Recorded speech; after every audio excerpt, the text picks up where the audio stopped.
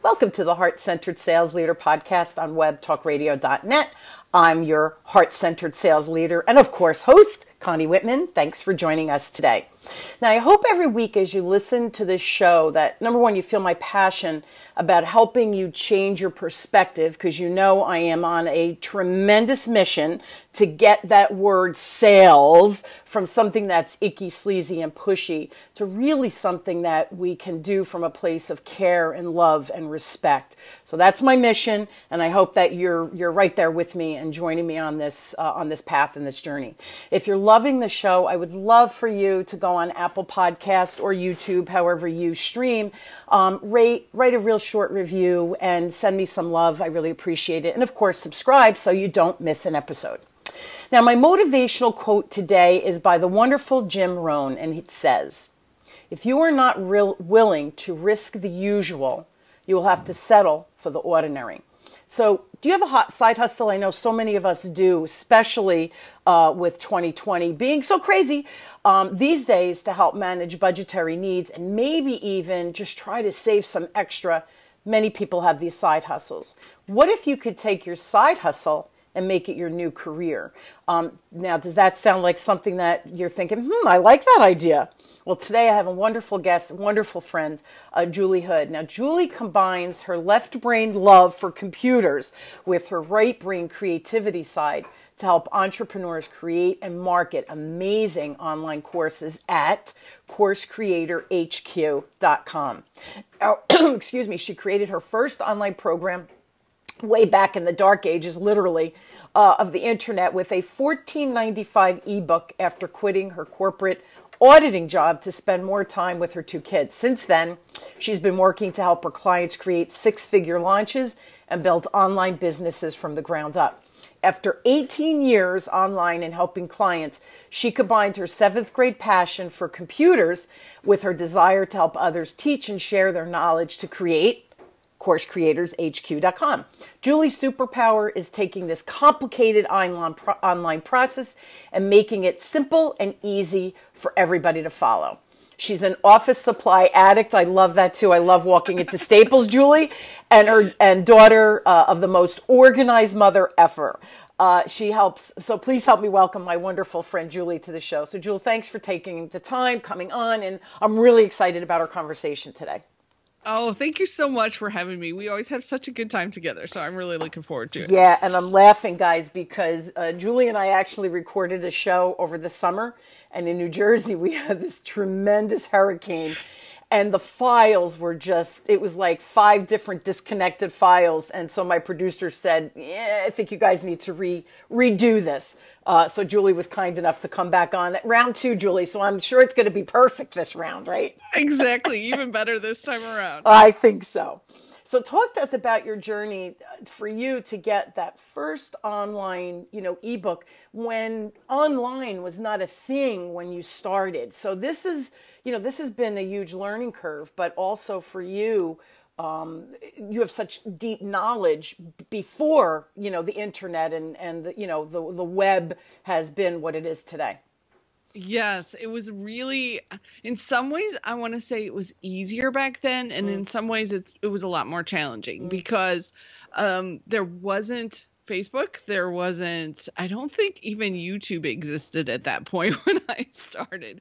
And they didn't have all the nice ways to create fancy websites. Mm. So I, I, it helped that I had some computer science background. So I was learning HTML and, you know, getting started. Sure. And it was such a really fantastic way to learn it because now there's so much more that people have to figure out. It's easier to do now, but there is a lot more to it. You know, it was pretty simple. You set up a, a website, people were like, oh, you're going to send me email? Definitely. Let me sign up for that. and so um, I got started that way and learned some really good lessons. Like the first one I will share with your audience is do not sell your product for $14.95. you need a much much higher level price to be able to make it really worth your time for because I put everything I knew at the time about the topic into it. And you have to sell a lot of those to make that work. So that's my first lesson that I learned from back then is to make sure you get your price point high enough that you can work work with it and have some some capital to work with. And I'm sure there's some rules for what price point to come to market with depending on what the offer is, right? So you I know you talk through that in your uh, course creation uh, classes that you do. So, you know, people don't panic and go, "Well, I I don't know what I, you know, my side hustle, I want to create a class, but I, I don't know." There's information out there to help you with those price points. But yeah, 14.95 kind of not even worth it then um, so right, to speak. Right. And, and I'm laughing because my intro with the side hustle, Julie, if you're selling something for four ninety five, you're going to be doing that side. You're going to be staying at your job forever because right. exactly, exactly. the side hustle won't make enough for you, right? Why yeah. did you choose? You know, with with all of that background um, that you had, why did you choose on the course creation kind of to niche in there? Yes, so that would be the second like lesson I would really like to share with your audience is to definitely pick a niche that you want to work with. Because when I started, so I started so early that I had kind of the let me introduce everyone to online marketing. Mm. And it was a little tough to get traction with that because what would happen is, you know, one day I'd be talking to a brick and mortar restaurant and they needed a certain type of marketing. And then the next day I'd be talking to a podcaster and they needed similar stuff but in different language. Mm. So they were talking uh, and and trying to make your marketing resonate with that wide of an audience is really tough. So back in 2017, I kind of stumbled across it. So uh, your audience might have something similar happen to them where they just sort of stumble into what's working. And so part of what I was doing is I attended a one of those live training um, online events mm-hmm. that it, it, was Teachable as the company was putting oh, together. Yeah. They were sh- they were talking about doing online courses and they had all of these different speakers, and so I have kind of a unique way that I take notes from those kinds of things. It's a special format that, and, and I'll share it with your audience in case it's helpful for them. Cool. It's basically a two column format on a wide sheet of paper. And so on the left hand side, you sort of take your notes, and then on the right hand side, you put in the action steps that correspond with it. So that that way by the time you're done with your training you've got okay here's what i learned. And then on the right hand side here's what i got to go do. Because i know a lot of times we'll go through training and we don't take that next step of actually let's go do it. I so, love that. it works really really well. And so teachable had this huge group of people who were also going through this session at the same time. And i i thought you know, I'm going to just try and see if anybody's interested in opting in and to get my notes because if they like these, I can build my email list that way and we'll run with it. Well, holy cow, so many people were incredibly interested in it.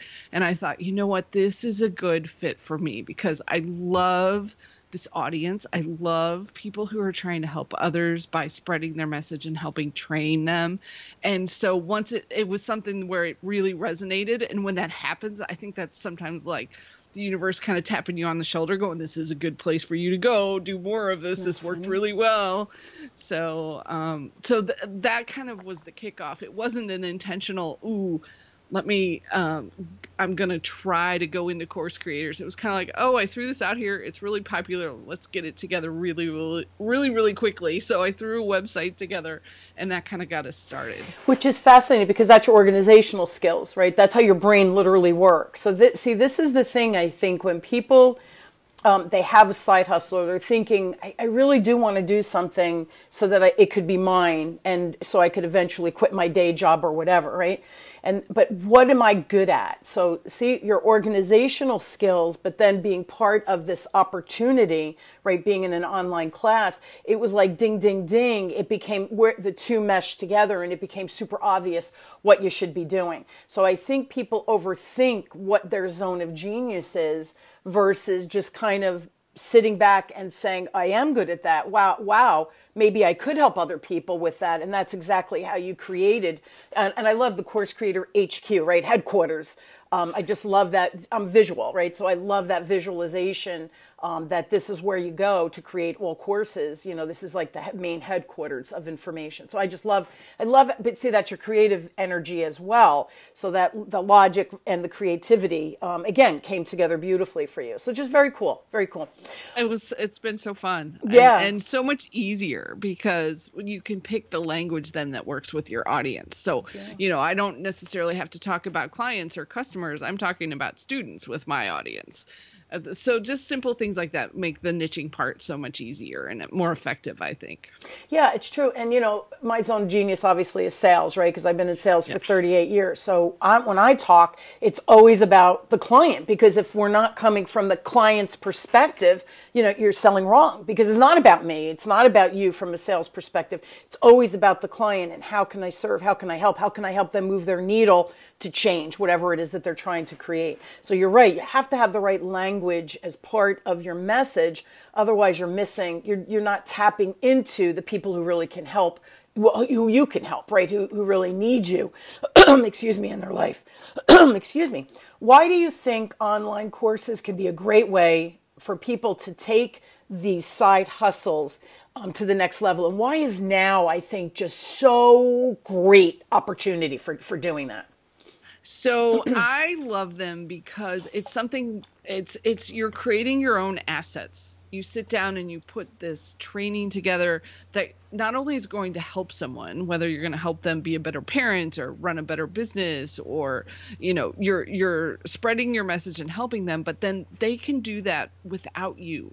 So it's different than having to be a consultant where you have to spend your physical time with mm. someone or on the phone or on Zoom calls with them. You know, they can they can absorb your class on their own time. So it almost it kind of becomes close to that concept of mailbox money that we all like, you know, getting sales without having to physically put in the time. I always like to put a little caveat on that because you do have to build the business. You know, the course isn't just going to sell itself. You do have to put some sales into it. And of course, you know that. Um, but it is closer because you don't have to be doing you know consulting time all day long you can uh, sell your course and also for coaches i really love it because it helps push people who are on the fence maybe over the edge. Because you say hey you know i'll coach with you and then i'll also give you my three big courses that i have and it feels like a huge bonus to them. So that's that's the second reason. And then obviously right now with all the craziness that's going on people are at home. They're trying to figure things out by themselves at their computer. There isn't a better way than either working one on one with someone or if you can find a course somewhere to get you started and get you going in the right direction it's it's perfect timing. Yeah and, and it's funny because that you know that's what happened to me last year right? Everything prior to 2020 i was live. I spoke live. I did live events. I did live training um, i had corporate clients and i would teach you know their whole sales teams and all of this and then 2020 came and they were like, we can't go in the training room. There's not enough room to social distance. What do we do? And thank God for Zoom that we just pivoted and said, well, okay, let's, let's do everything digitally. But the difference with that is I did have to change some of my curriculum. They have breakout rooms, which was wonderful on Zoom, but there were some physical things that I would have people do to teach them coaching, right? Visual things. Like I did a landmine that you would walk through blindfold and you'd have to climb over the stuffed animals while someone gave you the directions. Well, I can't do that in a digital format. Uh, so that pivot right. and shift, right, became really important for me. And that's why I was jumping on all of my own. I, I was taking online classes to say, well, how do I pivot? How do I do that? How do I create that? I've never had to do that before. So even though those those creative exercises that I did live, some of them, yeah, can transition over, but I had to figure out how can I be more creative in doing it now in this two-dimensional world. So it was a little bit of a shift all the way around. And and here's the other thing why I agree with what you just said and why online is so important because we're sitting in front of our computers. And I'm sorry, 2020 is not going to be that big of a difference until everybody, you know, gets the vaccine, which by the way, it's a pretty big world to everybody get this vaccine. It's going to be a while before we can kind of go out like we did in the past. But I think more and more companies are finding out that doing this is more cost effective. And, and what happened for a lot of companies, productivity actually increased because they weren't spending time commuting. So this is the perfect time to take your side hustle, or if you're thinking about creating something, now is the time. I think the resources are there. You're another resource, right, of teaching people how to create that course. So it's just the timing is everything. And I, I, again, you know, you could say COVID. Yeah, people lost their lives. It was it, it was a you know crap year, on the flip side, there was a lot of opportunity that was created. So, you know, it's that whole yin yang that, you know, we find that balance. So, people like you are a really, really good natural resource, so to speak, um, for people who just don't know how to do what they're trying to do, right? To, to, the concept is one thing, creating and delivering another whole, you know, ball of wax. Exactly, exactly. And that's part of what we try to do in the course that I have. It's called 24 Hour Course Creator and there's there's so much out there that you can do to figure out doing an online course, but I try to break it down and keep it as simple as possible and we break it down into hour by hour. So you don't have to think about it. You sit down at your computer, it's hour one. I say, go do this for an hour. you sit down for an hour two and go do the next thing for an hour. So, yes, could you go figure a lot of this out on your own out on YouTube? Probably, if you want to spend hours and hours and hours watching videos and, and trying sure. to track things down. But I tried to keep it simple for people because there's so much that you can do. Let's just do what we have to do to get a course live. Let's get our first course up and running and get some cash coming in the door. Yeah, and, and time is money you know? So if you spend exactly. all this time researching you're not bringing your product to market. You want the money to come sooner rather than later. So um, and you're and we'll have a link later for you guys if you want to jump on the course creator. Super affordable.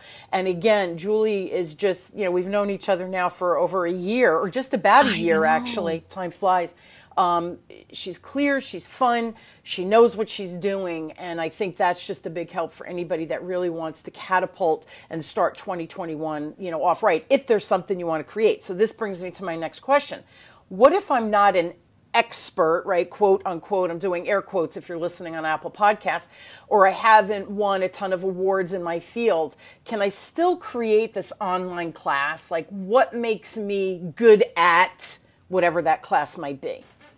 Absolutely. And can I tell a story? I have a, I have a story I like to share sure. for this. Okay. So back when I was in college, I was from a tiny little town, and um, my high school actually did not have advanced math classes. Mm. So when I went to college, my advisor put me into honors calculus for five hours my first semester of college. And I don't know why we thought that was a good idea. but we get into this class. So, this professor, obviously, we're the honors kids. So, we, we get the top professor in the department, right? He's the one that's so fascinated with calculus and every single little detail about how you do things. So, he would come in and do these incredibly complex problems for us. And I would be sitting there going, oh my gosh, I'm in over my head. I have to get a good grade to keep my scholarship. What are we going to sure. do? Yeah. And then one day he came running into class and he starts yelling at us and he's like, oh my gosh, you guys did so terrible on the test last week because we would take the same test that the regular calculus class took. He said, I'm so upset with you. You guys should be the top and you're you did terrible on the test last week. And what had happened is he was spending, he was so fascinated with his topic and so far ahead of us beginners that he couldn't teach us as beginners. The TAs were much better at teaching everyone else how to do calculus than us. And so thank God we got through the class, but it's one of those things where being that phenomenal expert where you've you're a PhD in something, yes, you have a lot of knowledge, but that doesn't necessarily make you a good instructor for a course because you want to be uh, just enough ahead that you remember what it's like not to know. Like you have to and one of the big mistakes i see people making a lot with courses is they try to put everything they know into their course. And if you're a good instructor you pull out just what people need at the level they're at. So if you've got a beginner's course, you know what that's like to be a beginner and and putting it in the right order for them. So um, I always tell that story about the professor because he totally overwhelmed poor freshman Julie trying to get through college. And yes, he was an expert, but he was not the best teacher. well, don't they say that a lot of people like you're the best athlete and then you retire and they make you a coach, but you're a horrible coach because the right. skill was so innate for you that you think, well, everybody knows this. Meanwhile, people, you know, kids that are just learning how to skate are like, you want me to do what? You know, right? Or whatever, whatever the, uh, I was talking hockey because my kids played hockey. So it's just really funny how sometimes we can over uh, talk because we're up here and the person who's learning from you right is is like at the starting gate and you're at the finish line. So uh, talk about a big disconnect. So that's wonderful. And and i love how you said that. Just be ahead of who you're teaching so it doesn't mean you have to have 50 years experience. You might have three years experience at something, but can articulate it really well for someone who's just starting out they're three years behind you. So that's just enough. But you remember what it was like three years ago when you were like, you want me to do what? Right? You don't understand um, what that next step looks like. And it's so funny, Julie, when you were saying that I, when I'm, when I'm teaching, uh, it's very cute because people will ask me, well, what do you say if a client says to you, you know, give some kind of objection? And I'll stop and think and I go, well, I think I would say, and then I just answer. And they go, how do you do that? I'm like, how do I do what? And they go, you have an answer for everything. And but it makes me giggle. And I said, because do you think I came out of the womb knowing all of this? I go, this is 38 years of experience. So why would you compare yourself to me being able to have, you know, quote unquote, all the answers? Of course I don't have all the answers, but compared to somebody who's new to sales and, and building client relationships, they've never done it before. But I've done it for 38 years. So I always tell them, stop comparing yourself to someone who has more experience than you. Ask them, what was it like when you first started out? You know, I made all the mistakes just like you did. You know, the first time you created a course, I'm sure it was a you know an absolute train wreck to some extent. It was good, but then later on you're like a year, eh, right? and then you're like, wow, I missed this and I missed that but that's how we learn. So I love that. Just be a little bit ahead of what you're trying to teach because you don't forget what it was like learning and not knowing anything. So that's such great advice. How did how do people when people come to you and they go, I really really want to do this and I have this little side gig thing I'm doing, but how do I like how do I pick a topic to create that course? Like how do you do that? Okay, so I've got a couple things that um, an exercise, if we have time, we can do real quick. Sure. So if you grab a piece of paper and you draw a line from the top to the bottom and then a line from the left to the right, so you end up with four different boxes. Hmm. And we're going to put some notes in each one of these boxes. Not during the podcast, just you can write this down and go check it out later. Mm-hmm. But the first place I want you to go in the top left box is Facebook groups. Hmm. And so find Facebook groups, you know, for you it would be sales groups and go out and see what are people asking over and over again that people are commenting on those are topics that are very very important to your audience mm. and i did this with my audience there were lots and lots of people asking where do i host my course? Mm. you know where should i put it? And there were so many people asking because there's lots of tools you can use. So i put together a little mini course that i give away to people about where you should host your course. And i got that idea from facebook groups. So that's the first place that you go and you look is the facebook groups and see what people are asking about and what they're um, commenting on very frequently. The second place I want you to go is out to Amazon, mm. and we're going to look at the books in your topic area. And don't read them because we don't want to use their content. but you can look at the table of contents to just kind of get a, some ideas. So I found one on online courses and it was talking about validating your idea. So I have another free training that I give away that's all about validating your idea and making sure it's good. So that's another place to look is the table of contents in Amazon books. And then our third box that we're going to use over on the bottom left is YouTube um, and type in how to related to your topic and see what kinds of things are coming up. And in this instance, you want to go look at the comments because you want to see what are people saying you left out or what are they still asking about or mm. you know there's a video there about x um, how could I tweak that to be my own personal system? Or um, it seems like people are really interested in this. How could I combine it with another topic and and look at um, what could be similar or what could be different? And then the fourth box is anywhere else where you can get research on your topic. So sometimes there'll be um, journals or articles that if you have an industry specific magazine or if you have some podcasts that you're listening to, you know, anywhere else where you can just kind of get some ideas about what people are doing. And here's the big secret that I want to share with your audience is you do not have to, and I actually don't recommend for your first course that you put together some huge signature course like how to sell anything to anyone, anytime, anywhere. you know, it's crazy. Yeah, because number one, your students are not going to get through it. So, um, and number two, it's going to take you so long to finish that entire thing. Let's do something small. Let's do, I think, don't you even have a little training you do on how to introduce yourself, your introduction? Yep perfect first course. Uh, it's something people need. It's short and sweet. It gets them started. They get to know you. You give them something, and by the time they're done, they have this transformation. They're like, "Oh, she taught me that. I wonder what else she can teach me." And that becomes future courses rather than one big, huge sales course. You've got all these different pieces that you can pull together. So that's where I like people to start when they're trying to figure out what idea. You know, those are kind of four different. By the time you do all that research, you'll probably have an idea of something that you really like to talk talk about something that you know you've got some experience in, that you remember um, what it was like to not know, and you can pull all that together then into your first course. But don't make it everything you know. Just make yeah. it a course. And it's so funny. I, I like the KISS rule, right? Which is keep it simple, stupid. And not because I'm stupid or I think my students are stupid. That's the opposite of what I think.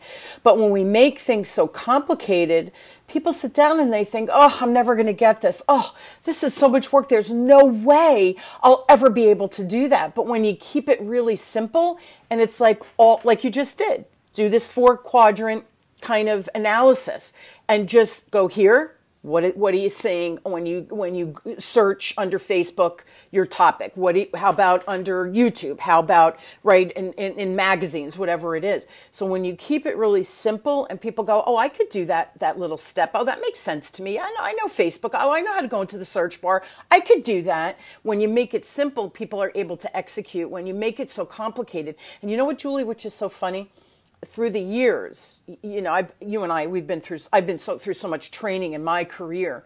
Some of the people are really bad where they get up there and they vomit information out of you. And I think, well, okay, that's really good information. What do I do with it? How do I implement it? How do I choose what step to take? There's never a how to. They're very good at sharing information. Sharing information is not telling me how to go and execute. So it's all about the how to. And everything you just said, it's about the how to. Keeping it simple is the how to. So I love that. I love, you know, your example of write all the notes on one side and then on the other side, side, what is your action step as you're going through? What do you need to do as soon as this class is over to start you on that journey of changing whatever it is or creating um, wh- whatever it is in, in your course? So yeah, keep it simple, man. I think we, I think we think if we make it complicated, oh, I must be very smart then. Doesn't mean you're smart. It means that you're not connecting with other humans who are trying to create whatever the change is, you know, in, in creating courses or, or whatever their zone of genius is. I just love that. I love that.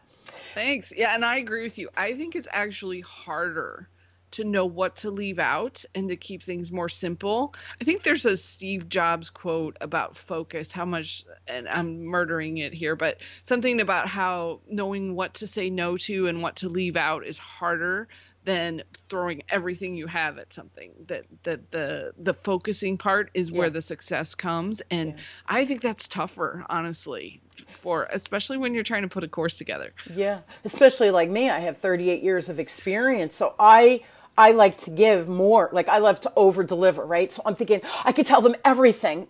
How do you teach 38 years worth of stuff in, you know, a 10 week class? You can't do it. And, it, and what happens is then you overwhelm the student and then they feel defeated. So instead of empowering them with all of your knowledge, you're really demoralizing them because they think, I just can't do that. I'm not good enough. I'll never be able to. And then the negative record player kicks in. So keeping it simple, like you said, is it just makes sense.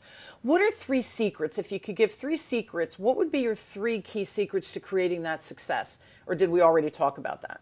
Um, Uh, we've sort of addressed some of them, but let me see. I think there's one more that I definitely want to throw in there for your audience, and that is to keep whatever the training lesson is that you're doing, keep it short.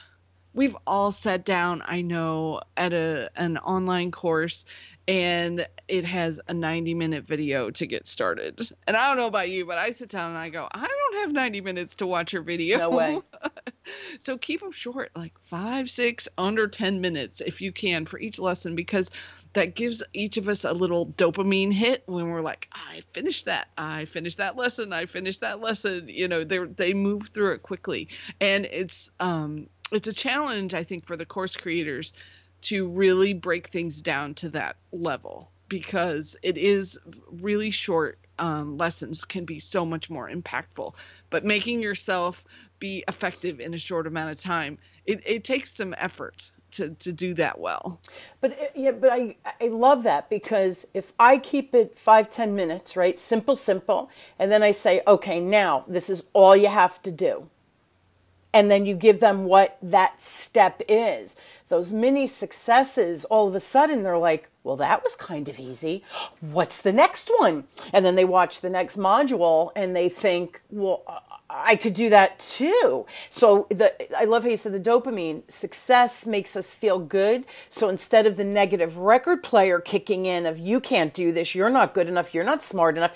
Julie makes it so simple, but you don't have Julie's experience. You know, blah blah blah blah blah. Now I have these many successes, and it and what acts, what actually ends up happening is people will complete the program yes. because they're winning instead of feeling defeated. And and and that's one thing I know I want when people buy my programs. I want you to finish it. Not yes, I want you to learn and I want you to move your needle of getting better at sales and those the building client relationship conversations, right? But I want you to finish the program. Otherwise, you're never going to move your needle. You're never going to grow. You're never going to improve your client conversations. And I'm sure it's the same thing with you. You want them to create a course and then be able to make some money off of that for them to yes. say, holy crap, I could do this. What's the next thing I want to, what's the next course I want to create, mini course or whatever it is, right? So mini successes propels us forward to do more and more, learn more and more, implement more and more, execute, right? All of those things. Feels good. Feels really good. Exactly. You got it. That's, yeah. That's that's the goal. Last question. What's the next step that people should take um, to begin creating an online course, especially if they do have a side hustle, or let's say that they they have a corporate job and they're listening and they're thinking, you know, I always wanted to do right.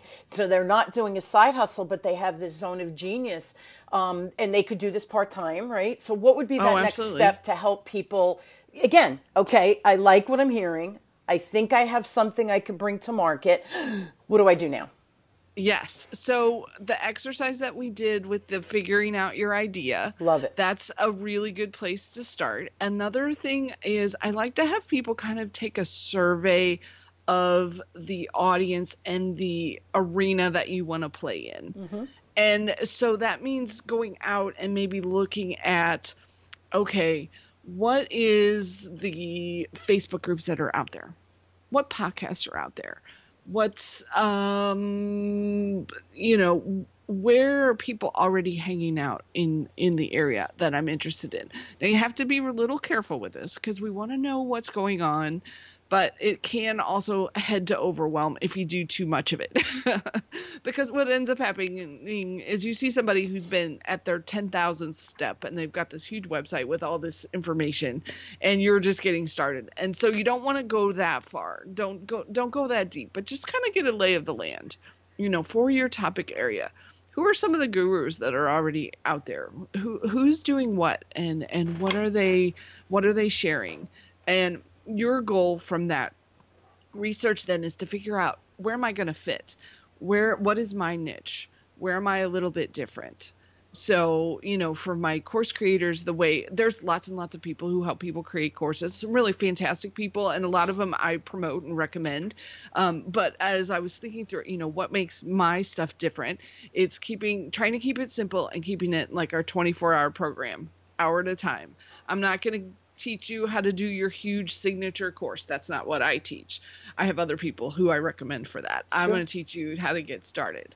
So figure that's where I figured out, you know, I think there might be a niche here for me, a place where I could play. So if folks can figure out, okay, this is kind of what I see yeah. out there. Google is our friend, and then this is where I'm gonna fit in.